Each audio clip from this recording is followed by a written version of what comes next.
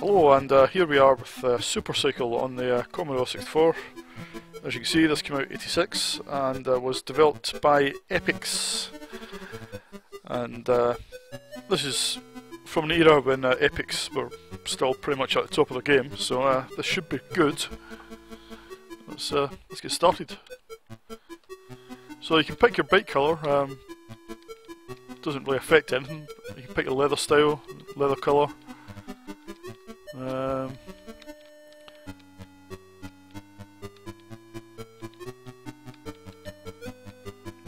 oh, that's a suitably disgusting uh, combination.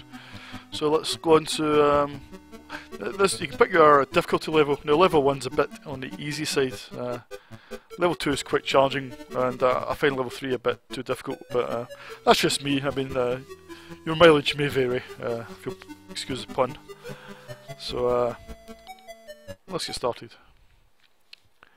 Now, uh, as a multi-load, uh, this game, uh, it's not too bad. I, I did actually, uh, I had this on cassette back in the day. It wasn't too bad. Uh, uh, right, here we go. I must say that the multi-load is a lot faster on disc, but but it's not too slow cassette. Right, so here we go. press button to begin. So this is purely a race against the clock.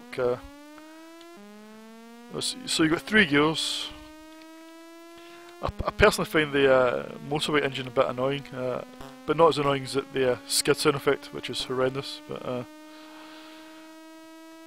now you can see uh, it's very fast, and the road routine is effective, but but it doesn't actually shift left or right when you move, and the perspective doesn't change or anything like that. So. Um, well, just just the bike itself moves, which is okay, but it's not it's not quite as immersive, I think. Uh, but doing it this way gives us a a much faster, smoother experience. So uh, you know, uh, I can't really criticise the uh, road routine too much for that.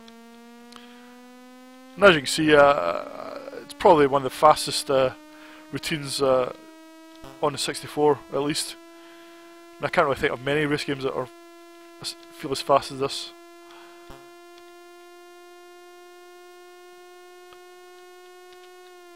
And unlike uh, Pit Stop 2 from Epyx, uh, this this actually has some uh, roadside graphics as well.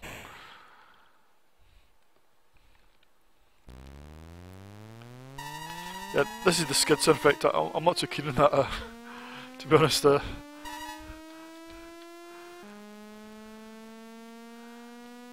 I mean, itself is quite a cool effect, but it just gets a bit annoying.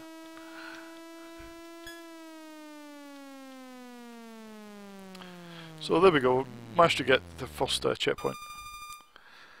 It just loads in the next track and uh, sort of rinse repeat, uh, I'm afraid. Uh, that's pretty much all the game has to offer, uh, but um, there are some complications. Uh, some tracks have closed lanes, and there's oil patches or icy patches depending on on the terrain.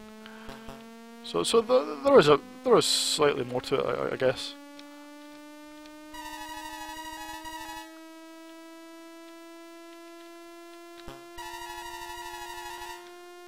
Uh, once you get to uh, full speed here, the game does get is quite exhilarating, I must admit. And, and, the handling of the bike is just about right. I think it's got that slightly slippery feel, but it's it's okay. You can just about cope with it. Yeah, the controls are they're, they're challenging enough just to make it slightly tricky, but but not not not but but not frustrating. I think.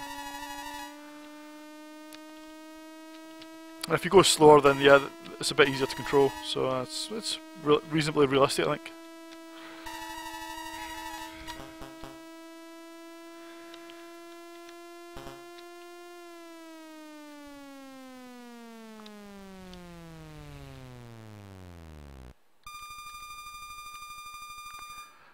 There's different. There's, there's different levels. There's snow levels, uh, and there's a, there's a night level. There's a level with um, sort of thunder, uh, thunderstorm. It's quite quite atmospheric. And the horizon graphics are always quite atmospheric, you know, they're supposed quite often represent landmarks from around the world.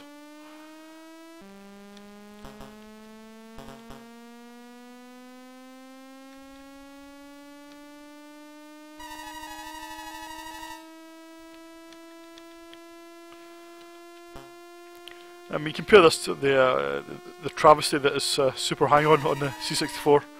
It's night and day, really. Uh, this is just a, a different planet.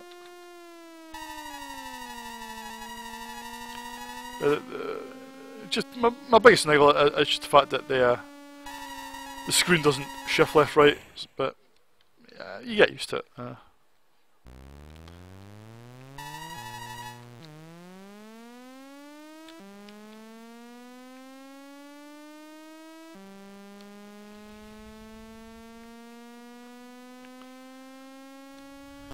Sometimes you can uh, get a bit of momentum from bikes behind.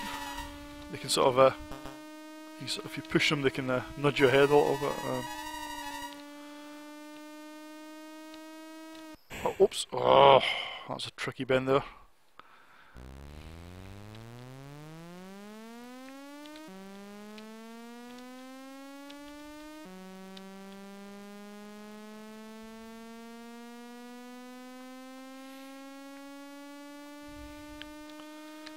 It's a bit tricky here.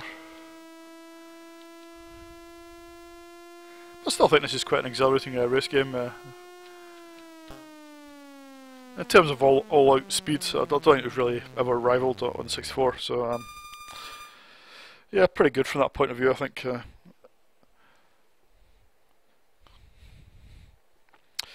um, this, is, this looks like a bonus track, yeah, you hit flags for bonus points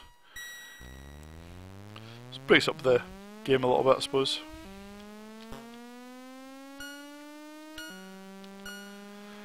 Right, so what am I going to rate it? Well, I still think this is um, quite a top-notch race game on a 64. Uh, so, um, yeah, I'll give this um,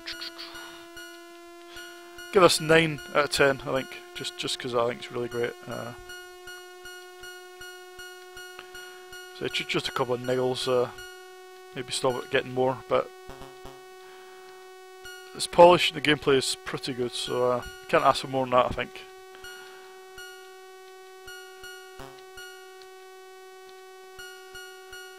So that's Super Cycle for you, uh, 9 out of 10.